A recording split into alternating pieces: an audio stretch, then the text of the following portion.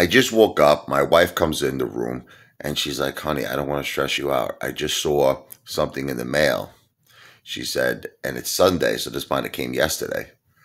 That was um, Federal Express. Okay. It was priority mail.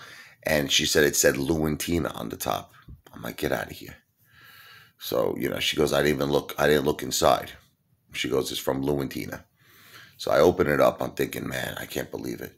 Lou finally did it. Lou had the paper served to me. I can't believe it. He said he's been saying this for over a year. Over a year. And he finally did it, right? So I opened it up and it said something like 10% off your first visit. I'm like, what is this shit? You know, it was like three papers combined.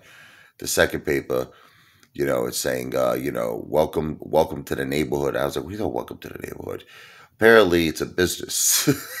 it's, they're welcome. They're because they're new to the neighborhood. It's Lou and Tina's car wash. You understand? At the car wash with Lou and Tina.